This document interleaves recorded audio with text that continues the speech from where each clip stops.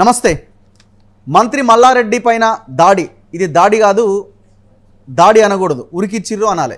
మంత్రి మల్లారెడ్డిని ఉరికిచ్చిన కేసులో కొంతమంది కాంగ్రెస్ నాయకులపైన కేసులు పెట్టిరు విచిత్రం ఏంటంటే పోలీసులు మీడియా కొన్ని ఛానళ్ళు సీసీ ఫుటేజ్ ఆధారంగా ఈ ఈ విజువల్స్ ఆధారంగా కేసులు పెట్టిరని అంటున్నారు.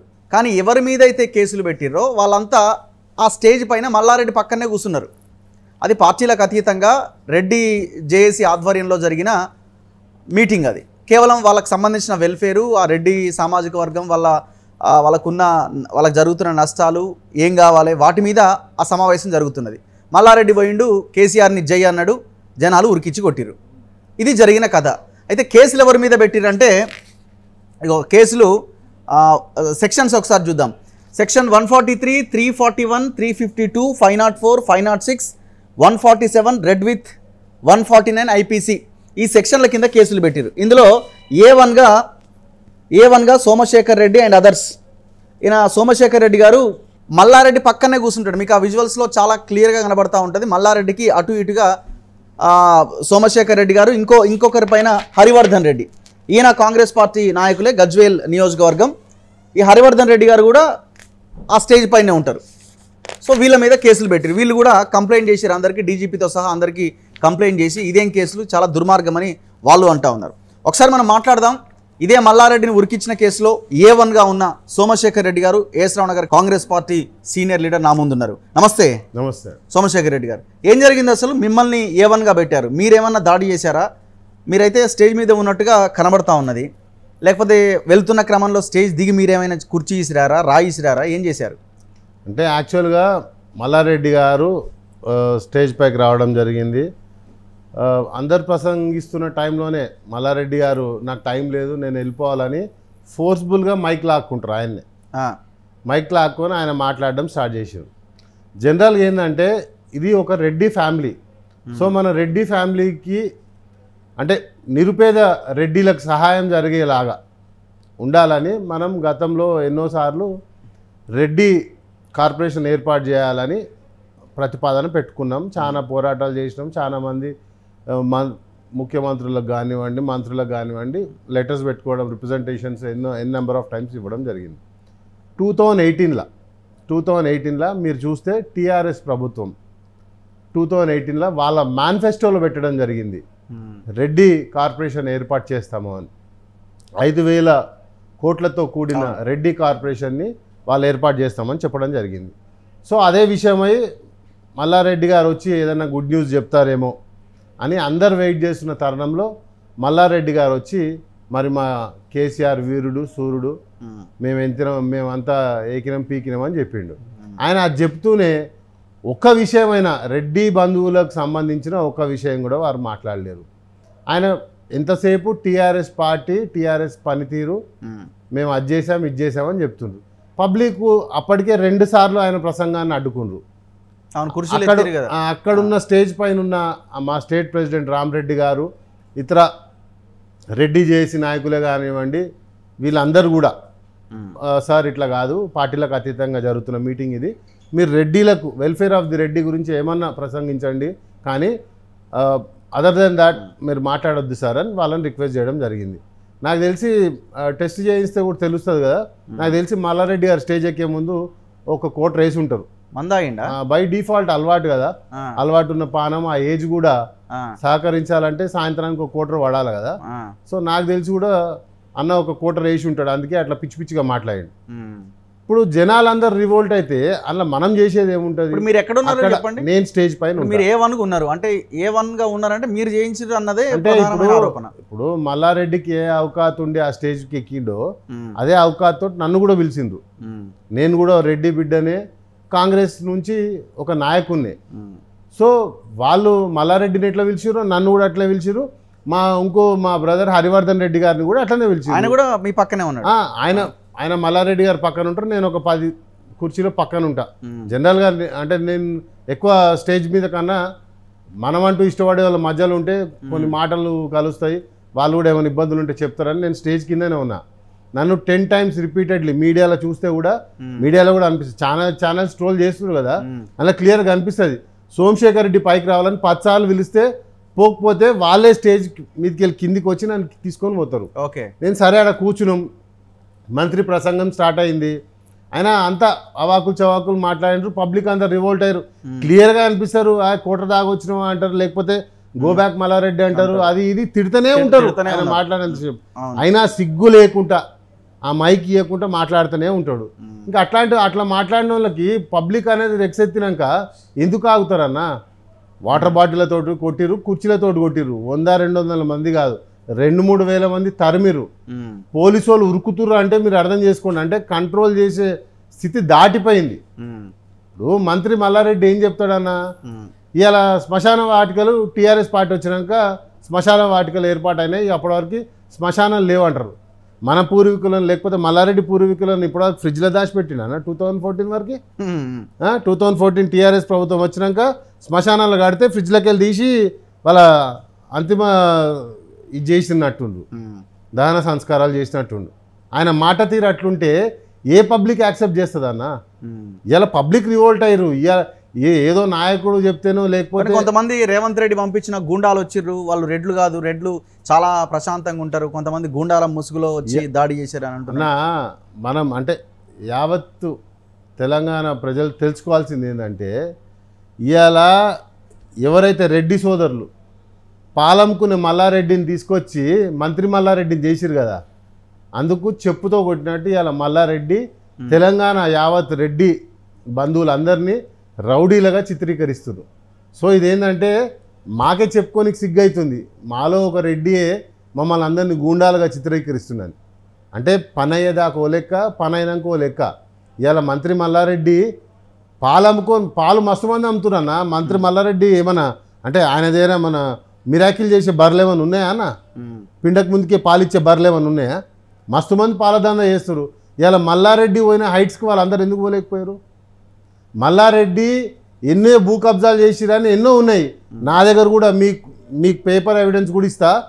బోయిన్పల్లిలో కొంపల్లి కొంపల్లి దగ్గర ఒక పదిహేను ఎకరాలు రెడ్డిల ప్రాపర్టీ పేపర్ని దిద్ది అంటే పానీలు దిద్ది బీ బుక్లో మన క్లియర్గా నేను ఆ బీ ఆ డీటెయిల్స్ కూడా ఇస్తా. బీ బుక్లో క్లియర్గా దిద్దుతారు. ఏంటన్నా బీ బుక్లో దిద్దంగా మీరు ఎప్పుడన్నా విన్నారా? రెడ్లదేనా రెడ్డిల ప్రాపర్టీ రెడ్డిల ప్రాపర్టీ ఓనర్షిప్ చేంజ్ చేసుకుండు. అలా కోడల పేరు మీద కొడుకు పేరు మీద చేపించిండు అవి. అవి కా మేము ఎంఆర్ఓ కంప్లైంట్లు ఇవ్వడం జరిగింది పోలీస్ కంప్లైంట్ కూడా ఇవ్వడం జరిగింది. మంత్రి కదా. ఇప్పుడు ఆయన ఏమంటాడంటే నేను ప్రెస్ మీట్ చూసిరు కదా మీరు. నన్ను చంపాలని కుట్ర చేసిర్రు. మొత్తం రేవంత్ రెడ్డి బ్లాక్ మెయిల్ అని నేను బయట పెట్టిన కాబట్టి ఏడ దొరుకుతాడా మల్లారెడ్డి అంటే ఈ రెడ్డి రెడ్డి మీటింగ్లో దొరికింది కాబట్టి నన్ను చంపడానికి పెద్ద కుట్ర చేసిర్రు అని అంటున్నాడు. అన్న మల్లారెడ్డి అంతా అంటే ఇప్పుడు ఈ సంవత్సరం పాటు ఇంట్లో పండుకొని ఇవాళ ఉట్టి రెడ్డి సభకు వచ్చిండు అన్న? ఉమ్, మల్లారెడ్డిని పట్టుకోవాలంటే రోజు ఎన్నో తాను దొరుకుతాడు కదా. ఆయన మల్లారెడ్డి ఏమో అంత పెద్ద తీసిమార్కానా ఆయన ప్లాన్ చేసి సంపనీకి మా పాలోడా అన్న ఏమన్నా? మాకు ఆయనకి ఏమైనా ఆస్తి పంచాదులు ఉన్నాయా? మల్లారెడ్డిని మేము కుట్ర చేసి చంపాలనే ప్రయత్నం మేమెందుకు చేస్తాము? అయినా అన్న మల్లారెడ్డి గుడ్డోడేమో. మీడియా క్లియర్గా ట్రోల్ చేసింది కదా అన్న? ఏమవుతుంది అనేది మీడియా క్లియర్గా చూపించింది. మీడియా ట్రోల్ చేస్తున్న దాంట్లో మేము ఏడున్నాం అనేది కనిపిస్తుంది కదా. మరి ఎందుకు? పాత్ర ఏందో కనిపిస్తుంది మిమ్మల్ని ఎందుకు ఏవన్గా చేర్చిర్రు ఈ కేసులో? మమ్మల్ని ఏవని ఎందుకు చేర్చిరా అంటే పోలీస్ అధికారులు చెప్పాలి.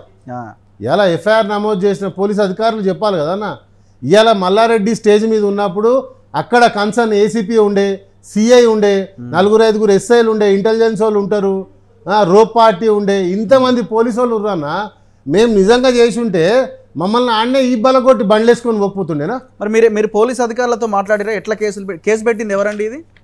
కంప్లైనెంట్ పా పలుగుల రెడ్డి మాధవరెడ్డి అంట. ఎవరైనా? తెలియదు తెలియదు. అంటే మీ ఏమైనా ఆధారాలు ఉన్నాయా? మరి ఎట్లా కేసులు పెట్టిరని మీరు క్వశ్చన్ చేసిరా పోలీసులని? ఇప్పు- ఇంప నిన్న రాత్రి అది పెట్టి నిన్న రాత్రి ట్రోల్ అయింది అది. మా మీద ఇట్లా ఎఫ్ఐఆర్ అయిందని. నిన్న మధ్యాహ్నం అంటే అరౌండ్ ఫోర్ ఓ క్లాక్ అట్లా టీవీ నైన్ లకి ఏంది? ఇట్లా సెక్షన్లతోటి నిందితులు దొరికిర్రు. దొంగలమా తీవ్రవాదులమా అన్న? నిందితులు దొరికిర్రు ఛేదించుడు ఏందన్నా? మేము పొద్దున క్రియాశీలకంగా పబ్లిక్ నుండి సేవ చేసే నాయకులము. ఇదే మల్లారెడ్డి కరోనా టైంలో కోట్లాది రూపాయలు జనాల రక్తం పీడ్చుకొని హాస్పిటల్లో బిల్లులు వసూలు చేస్తే ఇదే సోమశేఖర్ రెడ్డి. బాజాప్తా ఓపెన్గా చెప్తాడు తెలంగాణలో ఎవరు చేయనంత సర్వీస్ సోమశేఖర్ రెడ్డి చేసిండు. మేము. కోవిడ్లో దాదాపు నాలుగైదు కోట్ల రూపాయలు ఖర్చు పెట్టినాం. రోజు మూడు వేల మందికి ఫుడ్ పెట్టినాం. సోమశేఖర్ రెడ్డి ఏం చేసిండో ఒక్కసారి సోమశేఖర్ రెడ్డి యూట్యూబ్ ఛానల్లో సోమశేఖర్ రెడ్డి అని పేరు కొడితే కోవిడ్లో ఏమేమి చేసిండు అనేది లైన్గా వస్తాయి. మల్లారెడ్డి ఏం చేసిండు అనేది కంప్లైంట్ల లిస్ట్ ఏమన్నా తీస్తే ఎన్ని కబ్జాలు చేసిండు ఏడేడ కుంభకోణాలు చేసిండు మల్లారెడ్డి వెళ్తాయి. మల్లారెడ్డి లెక్క నేర చరిత్రను లేకపోతే కబ్జా చరిత్ర ఉన్న నాయకులం కాదన్న మేము. క్లీన్ క్లీన్ ఉన్నాం ట్రాన్స్పరెంట్ నాయకులం మేము. ఇప్పుడు ఏంది మిమ్మల్ని అరెస్ట్ చేస్తారా మరి? ఏమో అందరు- చూడాలి. అందరినీ- జైల్లో పెడతాం అంటుండే కదా. ఇప్పుడు మిమ్మల్ని అయితే ఏమన్నా అన్నారు? కాబట్టి మిమ్మల్ని అరెస్ట్ చేస్తారేమో. నేనేమంటున్నానా ఆయన మా మీద హత్యా నేరం మోపిండు అవేమో అట్రాక్ట్ అవుతలేవు ఇప్పుడు జనరల్గా అంత మీడియా ముందల అవి ఏం పెట్టిరన్న? ఒకటి ఒక సెక్షన్ త్రీ నాట్ సెవెన్ పెట్టాలి. ఒక సెక్షను మంత్రిని నిర్బంధించినామని మరి మంత్రిని మరి కోట్లాది మంది యావత్ ప్రపంచం చూస్తుంది కదా లైవ్ మీడియా అన్నప్పుడు. సో ప్రపంచం అంతా చూసి కళ్ళకు కనిపించదా అన్న? ఉట్టి సాయిబాబా భక్తులకే కనిపిస్తుంది. ఆయన నిర్బంధించింది. అది ఒక సభ ఒక బహిరంగ సభ. క్లోజ్డ్ రూమ్లో నేను మంత్రిని ఏదో చేసిన అంటే మంత్రి చెప్తే వినసొంపు ఉంటుంది అవతలోడు నమ్మసక్యంగా ఉంటుంది. కానీ ఇది ఒక ఓపెన్ మీటింగ్. ఒక ఓపెన్ మీటింగ్లో బహిరంగంగా సిగ్గు లేకుండా నన్ను నిర్బంధించిరని నన్ను కొట్టిరని నాపై హత్యా ప్రయత్నం చేసిరని సిగ్గు లేకుండా ఒక శాతగాని మంత్రి ఇచ్చిన కంప్లైంట్ ఇది వాళ్ళ దుస్థితి. అంటే రేవంత్ రెడ్డిని ఎదుర్కోలేక ఒక దొంగ కంప్లైంట్ ఇచ్చిండు. ఆ కంప్లైంట్ తోటి ఏమవుతుందన్న మనం పాత కేసు చూడలేమా? రేవంత్ అన్న రెండు వందల రూపాయలు ఫైన్ కడితే పోయే డ్రోన్ కేసులో పద్దెనిమిది రోజులు అరెస్ట్ చేసి చెర్లపల్లి జైల్లో పెట్టిరు చెర్లపల్లి జైల్లో మరి ఆయన ఒక ఎంపీ. ఆయనకు కంఫర్ట్ ఇవ్వకుండా డిటెన్షన్ సెల్లో పెట్టిరు సో గవర్నమెంట్ తీరు మనకు అర్థమవుతుంది. అంటే ప్రతిపక్ష పార్టీని దొరికితే ఎట్లా విసుకాలే అనే ప్రయత్నాలలో వాళ్ళు. సో అది పెద్ద ఫరక్ పడేది ఏం లేదన్న. కేసులు నెల కాకపోతే రెండు నెలలు లోపల పెడతాడు. లోపల పెడితే మళ్ళీ బయటికి మిమ్మల్ని- అన్న? మిమ్మల్ని ఏ వన్గా పెట్టారంటే మీరు ఎవరు ఎవరినైనా ఎవరితోనైనా మాట్లాడి ఉండాలి అట్లీస్ట్ ఏమైనా స్టేజ్ కిందకి దిగి వాళ్ళని వాళ్ళతో మాట్లాడుతున్న విజువల్స్ ఏమైనా ఉండాలి? అట్లాంటి మీ కాల్ డేటా తీసి ఏమైనా మీకు మల్లారెడ్డి స్టేజ్ ఎక్కుతున్నట్టు దిగంగానే కొట్టురు అని ఏమన్నా చెప్పు ఉండాలి? కాల్ డేటా ఎందుకన్నా? నేను హరివర్ధన్ రెడ్డి మాట్లాడుకున్న కాల్ డేటా ఇచ్చినా గొప్పనే అసలు అది ఏందన్న? ఒక రెడ్డి సభ.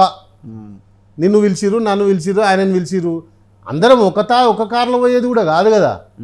ఆయన ఎన్నో గౌడెళ్ళు ఉంటాడు హరివర్ధన్ రెడ్డి బోయినపల్లి ఉంటాడు నేను ఈసీఎల్ ఉంటా. మెయిన్ నేను పోయింది కూడా ఎప్పుడన్నా మేము అరౌండ్ సిక్స్ థర్టీకో సెవెన్కో అడిగి పోయినాం. అంటే వీళ్ళు ఎందుకు మల్లారెడ్డినే పిలిచారు ఓన్ కాన్స్టిట్యున్సీ కాబట్టి వేరే కారణాలు ఏమన్నా మల్లారెడ్డి ఆ కాన్స్టిట్యున్సీ ఎమ్మెల్యే. రైట్ మళ్ళీ మేడ్చల్ ఎమ్మెల్యే. అక్కడ ఆయన స్థానిక మంత్రి. ఒక Reddy. Moreover he's a Reddy. So one of the Reddy family member అని ఆ మల్లారెడ్డిని పిలిచాం. లేకపోతే మల్లారెడ్డి తీసుమార్కా నాన్న శ్రీనివాస్ గౌడ్ గారిను ఓ శ్రీనివాస్ యాదవ్ గారిను? లేరా? వేరే మంత్రులు? వాళ్ళని పిలిచేటోళ్ళం కదా? ఇది ఓన్లీ రెడ్డి వెల్ఫేర్ గురించి. ఆయనే అంటున్నాడు కదా నేనే ఈ సభను ఏర్పాటు చేసిన నేనే మా కార్పొరేటర్లు కౌన్సిలర్ అంతా పోయి గ్రౌండ్ అంతా క్లీన్ చేసిర్రు. నేనే పర్మిషన్ ఇప్పించిన మరి ఇప్పుడు. సోమశేఖర్ రెడ్డో హరివర్ధన్ రెడ్డో ఈ ప్రోగ్రామ్ని ఆర్గనైజ్ చేసి ఉంటే మంత్రి వస్తుండని ఆ కింద బాంబులు పెట్టిరన్నా లేకపోతే ఇంకేమైనా చేసిరన్నా నువ్వు నా మీద నింద చేయొచ్చు. నన్ను అరెస్ట్ చేయొచ్చు. అసలు నీ మనసులో పెట్టినట్టున్నావు కదా. సభ కూడా నీ మనసులో పెట్టిరని చెప్తున్నావు కదా. నీ మనుషులు పెట్టిన సభకి నీ మనుషులు ఉన్న ఏరియాకి వచ్చింది మేము నేను ఈసీఎల్ ఉంటా. నేను గట్కేసర్కి వచ్చిన. గట్కేసర్ ఎవరు ఏరియా? మంత్రి మల్లారెడ్డి ఏరియా. మంత్రి మల్లారెడ్డి అక్కడ ఎమ్మెల్యే. ఆయన ప్రా ఆయన ప్రాతినిధ్యం వహిస్తున్న ఏరియాకి ఒక సాధారణ నాయకుడు సోమశేఖర్ రెడ్డి అనేటోడు అడిగి పోయిండు. ఆడ సోమశేఖర్ రెడ్డి గాలి నడుస్తుందా? స్థానిక మంత్రి ఎమ్మెల్యే అయిన మల్లారెడ్డి నడుస్తుందా? ఉమ్, ఆయనదే నడుస్తుంది కదా. చెప్పుకోనికి సిగ్గుచేటన్నా. ఇప్పుడు ఎట్లయిపోయిందంటే దొంగోడే దొంగ దొంగ కానీ- నన్ను నన్ను చంపడానికి ప్రయత్నం చేసిరంటే జనాలు నమ్మరా పాపం పెద్ద మనిషి మంత్రి ఏడుస్తున్నాడు ప్రెస్ మీట్ల కోసం. జనాలు కామెడీగా చూస్తారు మీ అందరు తెలుసానా? మంత్రికి మంత్రి అని పేరు కన్నా జోకర్ అని పేరు ఎక్కువ ఉంది. సో ఈ మంత్రిని ఎంతసేపు ఇప్పుడు టీఆర్ఎస్ల కార్యకర్తలకు బోర్ కొడుతుందని ఎంటర్టైన్ చేయమని మల్లారెడ్డికి మైక్ ఇస్తారు ఆడ ఆడ ఆడ కార్యకర్తలు వాళ్ళ కార్యకర్తలు కాబట్టి వాళ్ళకి బోర్ కొట్టే ఎంటర్టైన్ అయినట్టు యాక్టింగ్ చేయాలి. అది వాళ్ళ బాధ్యత. కానీ ఇది రెడ్డి ఫ్యామిలీ పెట్టుకున్న సభన? అక్కడ పేద రెడ్డిలు వస్తారు ధనికులైన రెడ్డిలు వస్తారు. ఈడ మల్లారెడ్డి అన్నదానం పెడితే అన్నదానంకి పోయి అనందిన్ని పోలే రెడ్డిల సమస్యలు మాట్లాడుకోనికి ఏర్పరచుకున్న ఒక సభకు మేము అందరం హాజరు కావడం జరిగింది. సో ఆడ మల్లారెడ్డి ఎంతనో సోమశేఖర్ రెడ్డి అంతనే హరివర్ధన్ రెడ్డి కూడా అంతనే. ఎవడైనా రెడ్డిలకు అనుకూలంగా లేకపోతే రెడ్డిలకు హెల్ప్ఫుల్గా ఉండే మాటలు మాట్లాడమని నీకు స్టేజ్ మీద పిలిచి మైక్ ఇచ్చారు తప్ప నువ్వు నీ పార్టీని ప్రపగాండా చేసుకోనికో లేకపోతే నీకు ఎంత ఆస్తుందో స్టేజ్ మీద పచ్చాలు చెప్తాడన్న. నాలాంటి ఆస్తున్నోళ్ళు నాలాంటి ఆస్తున్నోళ్ళు అని. అరే నిజంగా తెలివి ఉన్న మల్లారెడ్డి ఏం చేయాలి? నిజంగా నువ్వు నీకు కోట్లాది ఆస్తుంది కదా ఎలనేల ఆస్తుంది కదా. నిజంగా నీకు ఆ కన్సర్న్ ఉంటే పేద రెడ్డిలకు ఒక వంద కోట్లు నా ఆస్తులకి వెళ్ళి నేను డిక్లేర్ అరే ఆయన చేస్తాను దానికోసం వచ్చిండట. ఇప్పుడు నేను నాలాంటి పెద్ద పెద్ద రెడ్లు చాలా మంది ఉన్నారు. మనిషి ఒక కోటి రూపాయలు వేసిన పెద్ద రెడ్డిలు చాలా మంది వచ్చిన రెడ్డి ఏం ఆ, వచ్చిన రెడ్డి ఆడ ఆయన రెడ్డిలకు ఏం చేస్తాడు అనౌన్స్ చేసుడు దేవుడు ఎరుగు. అక్కడ ఉన్న సభ అంతా మీరు చూడండి ఒక్కసారి మల్లారెడ్డి స్టేజ్ దిగితే జనాలు మల్లారెడ్డి కాన్వాయ్ అనుకనే పోయారు వేలాది మంది ఇక వంద రెండు వందల మందిని క్లెయిమ్ చేస్తుండు కదా మల్లారెడ్డి. వేల మంది అన్న ఒకసారి మీరు విజువల్స్ మళ్ళీ చూసుకోండి. తొలి వెలుగు వాళ్ళు కూడా మీరు కూడా ఆ రోజు అక్కడ మీ ఛానల్ వాళ్ళు కూడా ఉన్నారు. మీరు చూస్తే క్లియర్గా అర్థమవుతుంది. వేలాది మంది మల్లారెడ్డితో పాటే వెనకకి వెళ్ళిపోయారు. ఆ సభ అక్కడికి ఎండు కూడా అయిపోయింది. తర్వాత ఏదో మల్లారెడ్డి పోయినాక నేనేదో ప్రోవోక్ చేసే స్పీచ్ ఇచ్చినా అన్న ఇంకేదైనా చేసినా అన్న అది నమ్మసక్యంగా ఉంటుంది. కానీ అసలు నువ్వు పోతా పోతా మొత్తం మీటింగ్ నాశనం చేసిపోయినావు. అక్కడ దాకా క్లోజ్ ఇక. ఇంకెవరు speech జనాలు ఎవరు లేరు. పాపం జిల్లాలకు వెళ్ళానా? ఎక్కడో నాలుగైదు వందల కిలోమీటర్ల మూడు నాలుగు వందల కిలోమీటర్ల దూరంలోకి వెళ్ళి.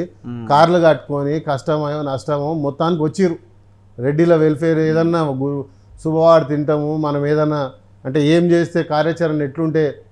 ఆయన ఆయన తన పెన్ పెళ్ళిళ్ళు ఉన్నాయి చాలా ఈ ప్రోగ్రామ్ ఒక రెండు మూడు ఒక ఐదు పది నిమిషాలు కూర్చొని మాట్లాడి వెళ్ళిపోదామని అనుకున్నాడట. అంతలోపే ఇది జరిగింది అంటున్నాడుగా. అనా.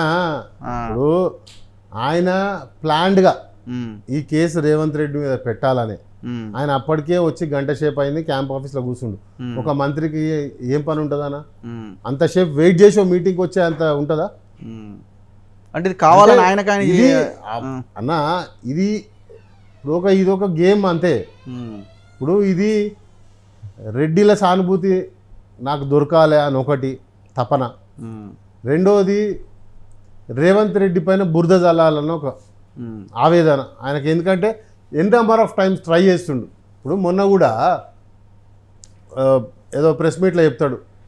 అబ్బాబ్బా అబ్బా ఎన్ని డబ్బులు ఇచ్చినా నాకు రాత్రులు నిద్రలో లేని రాత్రులు ఎన్నో ఉన్నాయని.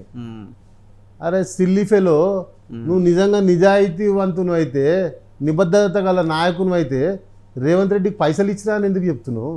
ఎందుకు ఇచ్చినావు? పర్పస్ ఏంది? ఏ కాజ్ మీద ఇచ్చినావు? అంటే ఇవన్నీ సెన్స్లెస్ ఇష్యూస్ అన్న. ఏదో నరం లేని నాలుక ఎటు పడితే అటు తిరుగుతుందని ఎట్లా పడితే అట్లా మాట్లాడుతుండే. ఇప్పుడు మల్లారెడ్డి మీద జరిగిన దాడిగా చూడాలా? లేకపోతే మొత్తం గవర్నమెంట్ మీద టీఆర్ఎస్ ప్రభుత్వం మీద జరిగిన దాడిగా దీన్ని చూస్తున్నారా మీరు? ఇది తెలంగాణ ప్రభుత్వ వైఫల్యాల పైన జరిగిన దాడి. సో ఇవాళ మీరు చూసినట్టయితే ఒక శ్రీనివాస్ యాదవ్ గారు ఒకరు ఖండించినట్టు. గవర్నమెంట్ సైడ్ నుంచి ఇంతవరకు ఎవరు ఒక మంత్రిని ఉరికిచ్చి ఉరికిచ్చి కొడితే మరి గవర్నమెంట్ అంత ఏం చేస్తుందన్న? అంటే ఇప్పుడు ఈ దీని మీద స్పందిస్తే ముఖ్యమంత్రి ఆ శ్రీనివాస్ గౌడ్ హత్య కేసు మీద కూడా మాట్లాడాలి కదా. ఇప్పుడు అదో డూప్ కేసు. అదే కదా ఇప్పుడు అవన్నీ అదో డూప్ కేసు మీకు తెలిసిందే. ఇది ఒక డూప్ కేసు? ఇప్పుడు అది ఎంత ఘోరంగా వాళ్ళు దొరికిపోయినరో ఇది అట్లనే ఉంటుందన్న. ఒకసారి సీసీ ఫుటేజ్ తీస్తే ఇప్పుడు ఛానళ్ళు ఎన్నో ఛానళ్ళు తీసినాయి. ప్రైవేట్గా కూడా. ఇప్పుడు ప్రతి అంటే ఒక నాయకుడు అనేటోడు ఖచ్చితంగా వాళ్ళ ఫోటోగ్రాఫర్ను వీడియోగ్రాఫర్ను కూడా తెచ్చుకుంటారు. రెడ్డి పరివారు లేకపోతే రెడ్డి నాయకులు కూడా లేకపోతే అక్కడ ఎవరైతే నిర్వాహకులు ఉన్నారో వాళ్ళు అధ్యక్షుడు స్టేట్ ప్రెసిడెంట్ రామరెడ్డి గారు తీయించిన వీడియోస్ కూడా ఉంటాయి. అవన్నీ లైవ్ కూడా రన్ అయినాయి. సో అందులో క్లియర్గా కనిపిస్తుంది కదా మల్లారెడ్డి ఏం మాట్లాడిండు? దేనికి వచ్చిండు అసలు మల్లారెడ్డి? ఏం మాట్లాడిండు? స్టేజ్ మీద ఎన్నిసార్లు అడ్డుకుర్రు? ఏం చెప్పిర్రు? ఆయనను ఎట్లా బతలాడిరు అనేది క్లియర్గా కనిపించేదే కదా. ఏ- చేయాలనుకుంటున్నారు ఈ కేసుల మీద? ఏం లేదన్నా ఇప్పుడు నా కన్సర్న్ ఒకటే. ఇవాళ మల్లారెడ్డి గారు కేసులు పెట్టిర్రు. సరే ఆ కేసు పెడితే ఏదైనా మంచి కేసులు అయినా పెడితే నేను నాలుగు రోజులు లోపల పోతా. పెడితే అట్లాంటివి అయినా పెట్టాలి. హత్య ప్రయత్నం చేసినామన్నారు. త్రీ నాట్ సెవెన్ బుక్ చేపిరానా? త్రీ నాట్ సెవెన్ బుక్ చేస్తే నాలుగు రోజుల వారం రోజుల లేకపోతే కుదిరితే నెల రోజులు అవుతాం లేదు మల్లారెడ్డి బాగా బలిసినోడు కదా. సో ఆ బలుపుతోటి నన్ను ఏమని చేపిస్తాడా? మర్డర్ చేపిమను. సస్తము సస్తే నెక్స్ట్ ఏముంటుందన్న పుట్టుకొనే మళ్ళీ పుడతా మళ్ళీ కొట్లాడతా. అంతే అని భయపడి ఇంట్లో వండుకునేటోళ్ళం కాదు. మల్లారెడ్డికే కాదు మల్లారెడ్డి అయ్యకు కూడా భయపడము.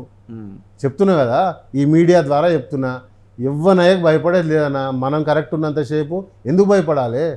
నేనేం చేస్తున్నా అనే క్లారిటీ నాకుంది. నేను ఆ మీటింగ్కి పోయినా రెడ్డి సోదరులకు ఏదన్నా న్యాయం జరగాలి. సో నా వంతు నా పాట కూడా అందులో ఉండాలి కాబట్టి నేను నా చిత్తశుద్ధితోటి నేను పోయినా. ఇవాళ అన్న గొప్ప చెప్పుకున్నాడు కాదన్న. పొద్దున్న లేస్తే నా షోకే సేవ చేయాలని. ఇవాళకి నేను కూడా వంద కోట్లు పబ్లిక్ కోసం ఖర్చు పెట్టినా పొడగొట్టుకున్నా. మల్లారెడ్డి డబ్బులు సంపాదిస్తుండు. సోమశేఖర్ డబ్బులు పొడగొట్టుకుండు. ఒకసారి చూస్తే తెలుస్తుంది. మేము మేము ఎన్ని జాగాలు అమ్మినా ఆయన ఎన్ని జాగాలు కబ్జా చేసిండు అనేది కనిపిస్తుంది కదా. అండ్ మోర్ ఓవర్ మేము చెప్పేది ఒకటే అన్న ఇప్పుడు సేవ చేయాలన్న కన్సర్న్ మాకుంది. సో దీని మీద కేసులు అవుతాయి రెడ్డి అనేటో ఇప్పుడు రెడ్డి అనేటోనికి అంతో ఇంతో సమాజంలో పేరు ఎందుకు ఉంటుందన్న అన్ని వర్గాల ప్రజలకు అన్ని వర్గాల ప్రజల కొట్లాడలు తనపై వేసుకొని కొట్లాడేటోడే రెడ్డి. సో అట్లాంటి అందరు రెడ్డిలు అట్లా చేస్తారు అని కూడా అంటలేరు. ఎవ్రీ సక్సెస్ఫుల్ రెడ్డి అయితే అట్లా చేస్తాడన్న. చరిత్ర తిరిగేస్తే తెలుస్తుంది. సో మేము అన్ని వర్గాల కోసం కొట్లాడేటోళ్ళం. సో మీ ఇప్పుడు ఇవాళ దళిత బంధు. దళిత బంధు దళిత బంధు అని పదిసార్లు స్టేజ్ మీద అరిచిండు. అందుకు బాటిళ్ళతో చీరలతో కొట్టిరు. ఉమ్, నువ్వు దళిత బంధు ఇచ్చి ఎవరు న్యాయం చేసినావు అని అడుగుతారు ఎలక్షన్ నాడు దళిత బంధు అనే పేరుతోటి నీ ఎలక్షన్ ట్రోల్ చేసుకున్నావు. అయినా సిగ్గు లేకుండా నీకు హుజురాబాద్లో నీకు బుద్ధి చెప్పలేరా జనాలు? అయినా సిగ్గు లేకుంటే ఇంకా అదే సూత్రం పట్టుకొని ఆలాడుతుండు. ఇవాళ దళిత బంధు ఏందన్న? It's nothing but SC ST subplan అవును. అది కాంగ్రెస్ పార్టీ తీసుకొచ్చింది. ఆ సంసార దానివల్ల ఇలా సర్ప్లస్ ఫండ్స్ ఉన్నాయి. ఎస్సీ ఎస్టీ సప్లాన్ని నువ్వు నువ్వు చేస్తున్నట్టు ఇలా దళిత బంధు అనే పేరు పెట్టి మార్కెట్లకు ఇస్తున్నావు తప్ప ఇలా ఉన్న మీరు చూసుకుంటే ఇప్పుడు ఇప్పుడు ఆరోగ్యశ్రీ తెచ్చింది మనం. కాంగ్రెస్ పార్టీ తెచ్చింది. దానికి ఒక ట్యాగ్ లైన్ వేసుకుని ఆయన ఫోటో పెట్టుకుండు టూ టూ అని ఆయన తిప్పుతున్నా అని చెప్తుండు? బస్తీదా హాస్పిటల్స్ టూ థౌజండ్ ఫోర్టీన్ కన్నా ముందు లేవా? ఈ ఇప్పుడు అసలు వాళ్ళు చేస్తామన్నా ఏం చేసిరన్న మరి రేవంత్ రెడ్డికి చెప్పారా ఇష్యూ అంతా? యుఎస్లో అన్న యుఎస్లో ఉండు. అన్నా ఇప్పుడు గా శాతగాని కేసుకి రేవంత్ రెడ్డి కావాలి నాన్న. సోమశేఖర్ రెడ్డికి అంత దమ్ముంది ఎదుర్కొనే దమ్ము ఎదుర్కొంటాడు. సో ప్రతి చిన్నది ఇంకా మనం స్కూల్ పిల్లలం అన్న ప్రతిది పోయి అన్న ఇగో వాడు నా పెన్సిల్ గుంజుకుండు ఇది నా రబ్బర్ గుంజుకుండు అని చెప్పనీకి. మంత్రి మల్లారెడ్డి కాకపోతే ఇంకెవడు వచ్చినా సరే సమాధానం చెప్పే సత్తా మాలో ఉంది. సో అక్కడ వరకు మా నాయకుడు అవసరం. మీరేం చెప్పదలుచుకున్నారు మల్లారెడ్డికి? నేను ఒకటే చెప్తున్నా మల్లారెడ్డి నువ్వు వంకర బుద్ధి మానుకో. ఉమ్, ఇప్పటి వరకు సరే నువ్వు ఒక నాయకునివి నేను ఒక నాయకుని నీ గురించి నాకెందుకని మేము పట్టించుకోలేము. కానీ ఇప్పటి కూడా లాస్ట్ టైం కూడా రేవంత్ అన్న ఎలక్షన్ అప్పుడు నేనే తీసుకుపోయినా. ఓ పదిహేను ఎకరాలు కబ్జా చేసిన మల్లారెడ్డి. ఇగో ఇది దీన్ని మనం ఎలక్షన్కి వాడుకుంటే బాగుంటుంది అని అంటే "ఏ, వద్దు ఎందుకు వాని పాపన ఆడిపోతాడు మనకెందుకని వదిలేయమన్న రేవంత్ రెడ్డి మీద అలా ఇన్ని అవాకులు చవాకులు మాట్లాడుతుండు. ఇవాళ రేవంత్ రెడ్డి చెప్తే ఎవరు చిన్నపిల్లల అన్న ఆయన ఆ సభల గుండాలు పోయి యాక్టివిటీ చేసేటట్టు ఉంటుందా అన్న? అంటే వేలాది మంది రెడ్డిల మధ్యలో వంద రెండు వందల మంది రౌడీలు పోయి కొట్లాడేటట్టు ఉంటుందా? ఇప్పుడు రెడ్డిలు అంటే పరస్పరంగా వానికి వీనికి అందరికీ అంతో ఇంతో ర్యాపో ఉన్నోళ్ళు ఉంటారు. మాట్లాడుకునేటోళ్ళు ఉంటారు. సపరేట్గా అన్న ఇప్పుడు ఒక సామాజిక వర్గం మీటింగ్ అవుతుంటే ఎవరో పక్క వాళ్ళు పోయి కొట్లాడేటట్టు ఆ ఫీజిబిలిటీ ఉండదు. ఉండదు తెలివిలేక మన మంత్రి మల్లారెడ్డి గారు క్లెయిమ్ చేస్తున్నారు ఎందుకంటే చదువులో వీక్ కదా కాక. అందుకు ఆ సెన్స్ లేకుండా మాట్లాడుతుండ్రు right anyway thank you very much Somashekar Reddy గారు. రైట్ అన్న. చూద్దాం ఎట్లా రెస్పాండ్ అవుతారు. పోలీసులు ఏ రకమైన సమాధానం చెప్తారన్నది కూడా చూడాలి. ఎందుకంటే ఏ ఆధారాలు లేకుండా కేసులు ఎట్లా పెడతారు? అఫ్ కోర్స్ మీకు ఇది సర్వసాధారణం కావచ్చు. అందరి మీద మీరు కేసులు పెడతారు. బట్ భవిష్యత్తులో అయితే ఇలాంటి వాటికి సమాధానం చెప్పక తప్పదు. అంతకంటే ముందు మల్లారెడ్డి స్పందించాలి దీని మీద. చూస్తూనే ఉండండి తొలి వెలుగు.